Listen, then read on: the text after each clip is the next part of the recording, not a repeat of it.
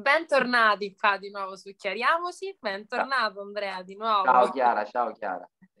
Ringraziamo come sempre Dan John che mi sembra sì. giusto. Siamo Dan John che ci dà questa possibilità, insomma, Esatto. E procediamo insomma all'analisi adesso poi generale, poi come facciamo sempre un po' i singoli gironi di questa quindicesima giornata. Allora, eh, diciamo pochi rigori e soprattutto alcuni con- contestati che non ci sono stati. Mi viene il caso eclatante da Juve Stabia col Catanzaro, che il Catanzaro insomma è andato un po' su tutte le furie per questo. Pochi rigori e gli arbitri. L'altra domenica era piena di rigori, questa domenica pochi, si vede che il VAR non ha funzionato. Hanno un po' si equilibrio. Non lo so, hanno seguito poi le linee. Sai che purtroppo anche, almeno così dicono le società, dicono le società che gli arbitri non sono a livello delle squadre. Però è anche vero, io non voglio giustificare eh, la, la terna arbitrale, però parliamo di Serie C e quindi pure gli arbitri. Anche perché, attenzione, pure in Serie A vediamo arbitri di Serie C, quindi il livello, esatto. non lo so, forse l'errore sta proprio nel fatto che il gioco è troppo veloce, magari come dico io, l'arbitro anche la solita assenza del bar comunque eh sì, l'arbitro forse là, dovrebbe stare a monitor cioè l'arbitro dovrebbe arbitrare dal monitor penso io, una rivoluzione perché non ce la fanno proprio. Esatto, diciamo che il problema non è tanto degli arbitri, ma no, secondo me viene dai fondi della Lega, che comunque è giu- il giusto, se si parla di professionismo, se, a parer mio il VAR deve esserci, quindi... No, diciamo una Lega che poi un pochettino sta un po' in confusione perché sembra che non si sa se si farà sta riforma, forse si fa, forse fa, non hanno molto bene le chiare di quello che succede. E eh, abbiamo visto il confronto, è uscito un articolo interessante poi ripreso anche da tutto C, però sono state solo 24 ore che parlava del fatto che le squadre in Inghilterra si tassano per aiutare le squadre di Serie C, quindi ogni anno gli danno 30 milioni di euro, tassando, ogni squadra si tassa di, un milione di euro e credo che sia un'iniziativa giusta, magari pure da seguire, perché poi alla fine probabilmente il milione di euro che tu togli alla squadra di Serie A non lo senti così tanto, anche Esatto, magari saranno contenti, però, però dà la possibilità la Serie C potrebbe far bene, eh sì, ecco, perché dà la possibilità uh, come in Inghilterra poi di creare una sorta di vivaio, no? La Serie C esatto, esatto. andare a pescare i calciatori. No, serve comunque un sussidio. Beh, so, io dico una cosa, per no? i ragazzi giovani, no? Io penso una cosa. Non... Vai Andrea, poi. Quello che dico io è che se esistono queste idee fatte da altri stati, altri paesi, possono idee intelligenti, no? Perché non seguirlo? Potrebbe essere un'idea. Io concordo con te, comunque andrebbe preso un attimo le parti buone ecco, di quello che è il calcio fuori dall'Italia, però non capisco in realtà, c'è forse questo essere ancorati all'idea tradizionale del calcio qua in Italia. Poi non lo so, poi se l'Inghilterra lo ha fatto, c'è una tradizione calcistica come quella italiana, storica, sì, sì, esatto. replicarlo non sarebbe un male. Poi anche di, anche di, facile attuazione, no? perché secondo me poi alla fine un milione per una squadra grande è, è, sicuramente un problema che i clienti non vogliono mai pagare, però come paghi un giocatore sconosciuto un 2 milioni, potresti versare una cassa esatto. comune e poi distribuire alle squadre. Anche perché il problema, diciamo, di, di, soldi che mancano alla Lega Pro è abbastanza evidente, quindi una soluzione va trovata e secondo me la soluzione non è di certo nel in questo ecco minutaggio under che rincara le casse della società perché così facendo che fai con tutto rispetto non me ne vogliano gli under ma un po' vai a rovinare tra virgolette quello che è il professionismo nel calcio a parere mio sì, vero, vero. quindi nel senso il sussidio andrebbe cercato altrove ecco. altre soluzioni interessanti poi, o seguire altri modelli no? certo certo ma non questo che stanno attuando adesso a parer mio non è questa adesso. la soluzione sembra che anche falsi, come diciamo, pure le sorti del campionato. Poi... Sì, no, è vero, è ah. vero. Quindi, oltre questo aspetto, diciamo, dei rigori dell'arbitraggio, Andrea, eh, appunto, ricollegandomi un po' a questa cosa che stiamo dicendo, ecco, tante, tante società, diciamo, tante, insomma, in vendita, c'è cioè la vendita di alcune società di sì, proprietà. Vabbè, lo diciamo dall'inizio, tutta la Serie C, nel senso, ora si parla di Cesena, acquirente americano, Propatria, altri acquirenti, cioè tutti acquirenti comprano tutti, vendono tutti, forse in chiese addirittura anche la... Che Grosseto, Sieto, esatto. Tutte notizie, rumors, poi si concretizzano, non si concretizzano, però questo certo. fatto che tutto si vende e ci sono degli acquirenti vuol dire che c'è, invece del mercato dei giocatori, c'è un mercato di società. Poi, non lo so, le vie del Signore sono infinite, ci sarà pure un motivo perché in fondo uno dall'America viene e compra una squadra di Serie C, non lo so, motivi privati, personali, affetti, amori, questo bisognerebbe chiederlo poi a chi fa le operazioni. Certo, sicuramente qualcosa di un pochino strana c'è, non lo so, personalmente sono contento che arrivano nuovi investitori, però sono certo. sì, sì, magari l'importante è che magari portano nuove idee, no? Questo, Anche esatto, se però dall'altra parte quelli che lasciano sono gente che comunque è cresciuta nel calcio certo. quindi testimonia il fatto che così non si può andare avanti. Certo, ribadiamo il concetto appunto detto poco prima, ecco. Magari così non si va avanti escono nuovi che magari vogliono trovare qualche soluzione, allora venga anche per il movimento. Va bene, passiamo poi, queste sono cose Passiamo all'analisi di questi gironi, ecco, partiamo dal girone A, cui ormai girone. da un bel po' che non è più capolista il Padova, ma troviamo questo allora, Tirolo. Il girone A che ha pareggiato col Feral Pisalò, diciamo, grande soddisfazione del Padova, con la vittoria a Piacenza si è avvicinato, però esatto. il Tirolo ha pareggiato con una concorrente diretta, il cui Feral Pisalò poi ha pareggiato, diciamo, pareggio giusto, eh? non, è, non hanno rubato niente, uh-huh. però in realtà questo conferma il fatto che su Tirol mira la T, cioè nel senso non è che esatto. con l'ultima, non può è essere un passo fa. E come dico io, attenzione al match Padova su Tirol, perché? Esatto, perché qua vedremo un po' la verità. Perché se su Tirol passa lo, lo scoglio, come era lo scoglio della Ferrari allora certo. ce l'ha. Poi ricordi, dicevamo che vuole fare una campagna acquisti importante, quindi credo che ci creda. Sì, no? sì. sì. Anche il portiere sul Tirol, insomma, sembra giusto citarlo perché... Sì, sì, sì ha fatto una, una, parata straordinaria, però poi non è riuscito all'anno ribattuto rete. Comunque il movimento c'è, sono ben decisi, non lo so, credo che possono far bene, poi vediamo. Padova che esatto, comunque... ciò che sorprende però è che il secondo posto non c'è il Padova, è preso da Renate in questa classifica. Renate è una favola meravigliosa, ragazzi che segnano, si divertono, segnano, non hanno nessuna pressione, l'obiettivo è andare avanti, fare il più possibile, si divertono, giocano. Renate che sarà una mina vacante nei playoff, perché comunque una squadra così, una squadra brutta da incontrare, no? Perché alla fine Certo. Ah, Abbastanza imprevedibile. Imprevedibile, quindi gioca un calcio bello, si divertono, stanno, poi sai che eh, diciamo, noi abbiamo la fortuna anche di avere rapporti privati con i calciatori, quindi c'è pure l'euforia del fatto di poter cambiare mai. Non me ne vogliono i così renati, però sai, proposte sui giornali, no? possibilità, quindi il ragazzo è più caricato, no? quindi sicuramente quest'anno faranno. Poi mi sembra il secondo attacco d'Europa, tutte queste storielle che escono fuori ogni tanto, poi però si portano sui giornali, no? Alla certo. fine, giornali, secondo attacco, pari a Lewandowski, che sono cose fantasiose, però che rendono, ti fanno felice, no? fai sul giornale, sulla gazzetta dello sport, lo sport, spesso poverini non ci vanno mai, no? nel senso chi sa chi sono i calciatori di Renate, tanti non sanno neanche che esiste Renate, però queste notizie. Quindi Renate è ottima realtà, che possa andare cioè vada avanti, per lottare per il primo posto. Eh.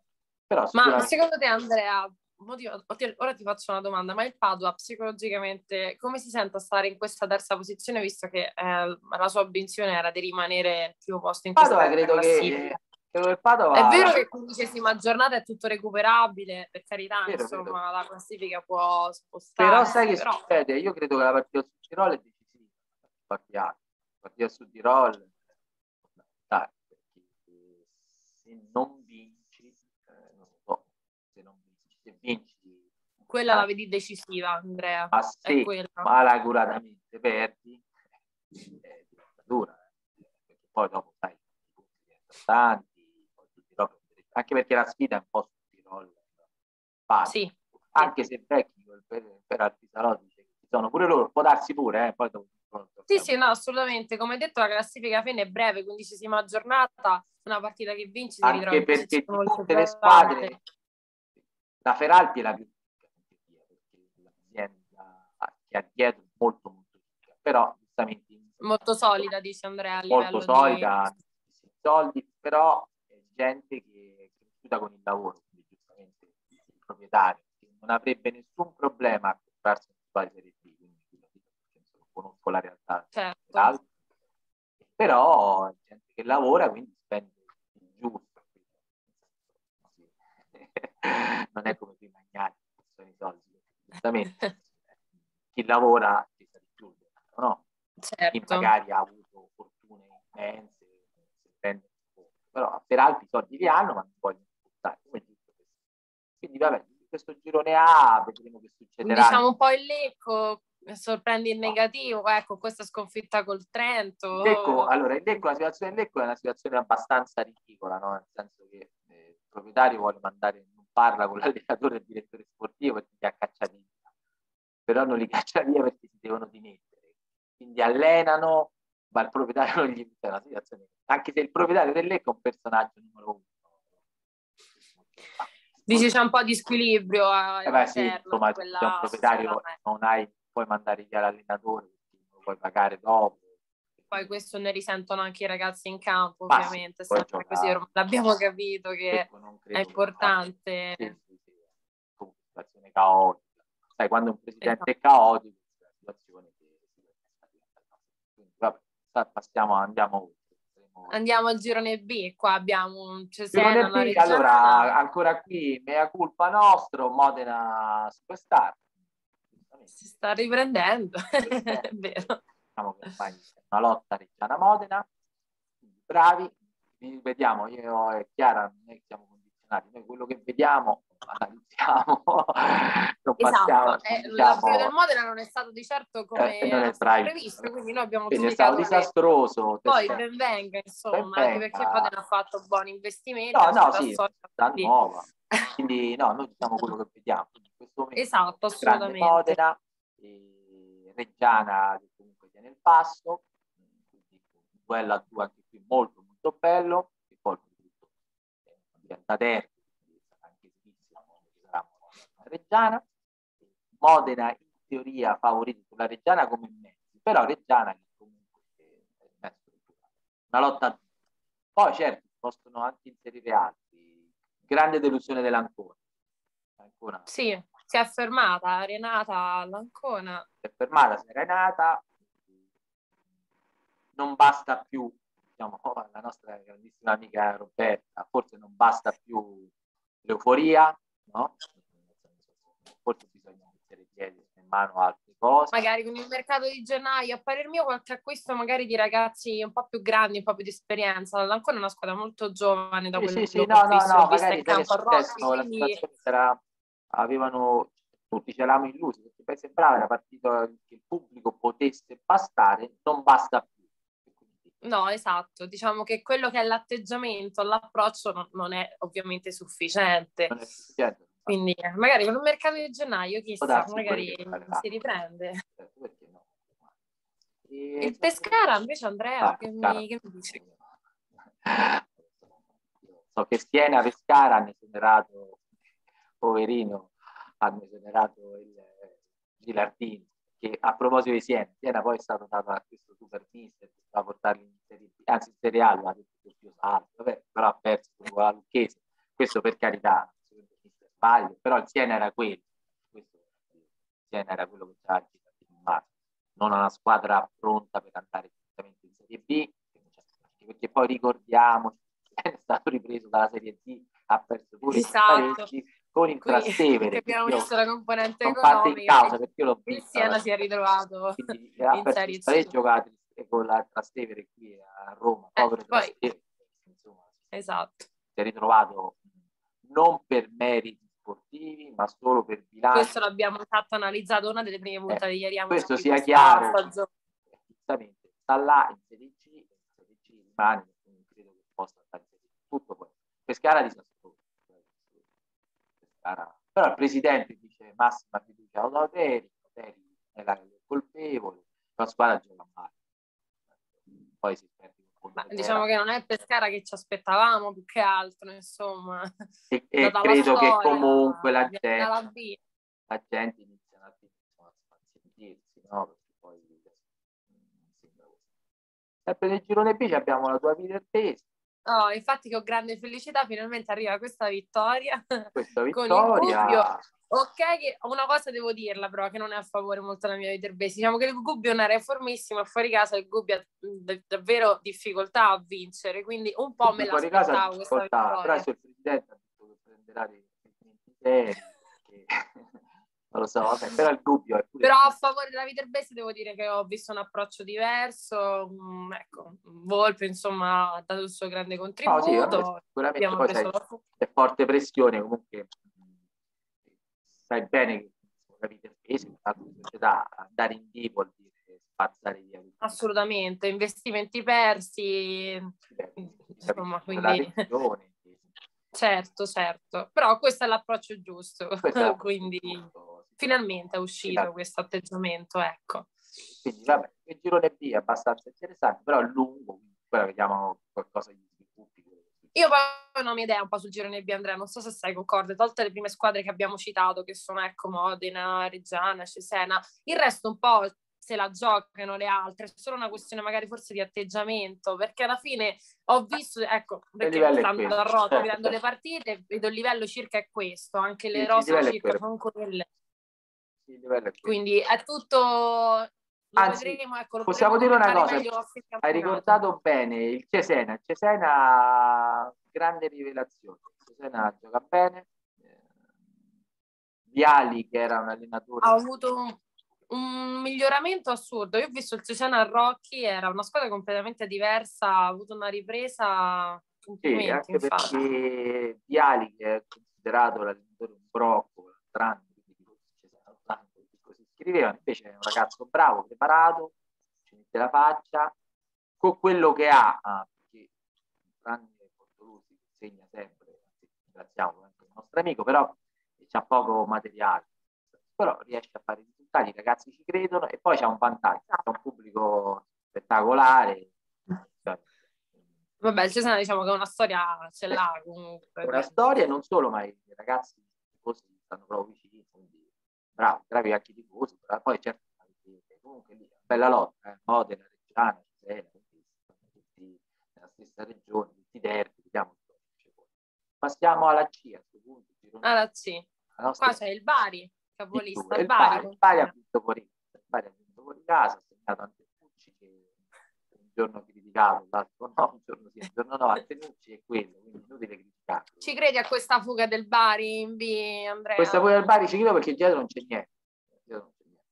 C'è il Palermo. Attenzione. C'è il Palermo. Però pure il Palermo, non lo so, fa, fa queste però questa ripresa un po' all'ultimo, dici, eh, quindi... Però questa fuori casa non mi sembra Però, mm, non ti però sai che succede? Quando si alternano le pretendenti dietro, prima era il Catanzaro, poi era il Palermo, e così via. Esatto, diciamo che non sono molto certe, non quindi non, non c'è quel Purtroppo, ho capito benissimo. Come non avevamo come il detto, abbiamo l'Avellino, Padova, ecco eh, l'Avellino, cioè, l'avevamo detto, eh, l'Avellino deve dare, sai, vittoria 1-0, non me ne vogliono gli amici Avellino, ha vinto due partite, però ancora non è che convince proprio, e quindi la dimostrazione è che sta là, non basta una vittoria per ambire all'idea di andare in cioè, fare un percorso, Assolutamente. So. Probabilmente mm.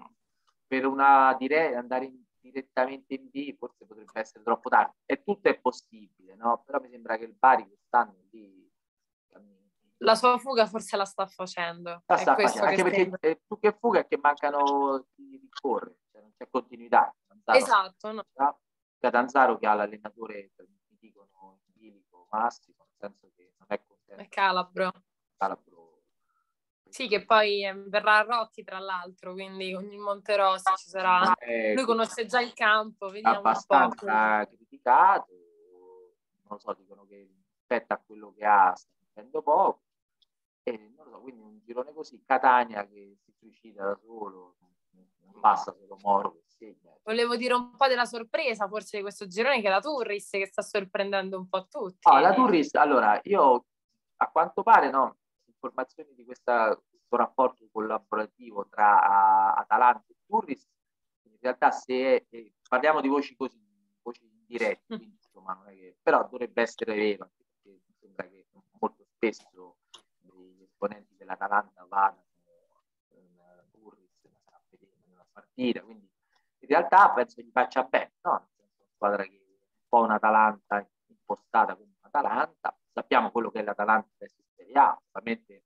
squadra che gioca il calcio migliore, o tra i migliori da anni, e quindi credo che questa sinergia, magari non di proprietà, ma di schemi, di preparazione, stia facendo bene, no?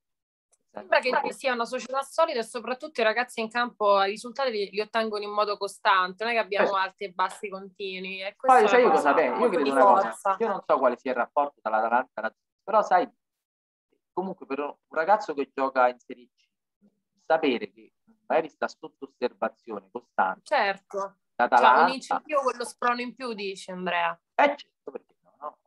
Anche mettersi in gioco. Cioè, sì, sapere, sì, assolutamente. Sapere certo. qual è un po' il tuo canale, capito? Certo, certo. hai la possibilità che magari, non lo so, se giochi bene, l'anno dopo quando a giocare a perdere, cioè, vero, una, vero. un altro tipo di esperienza, no? Certo, ragazzi sono maggiormente stimolati anche da E questo. poi la Tourist in realtà mh, mi facevano notare i ragazzi che ha questa capacità che gioca proprio con i minutaggi, nel senso fa i cambi, fa giocare quelli che deve valorizzare, magari però non, non è condizionale e questo è un vantaggio. No, ho visto anche l'età della media rosa che non è molto bassa, anzi comunque no, sono sì, ragazzi abbastanza grandi, ragazzi consolidati che stanno facendo esperienze cioè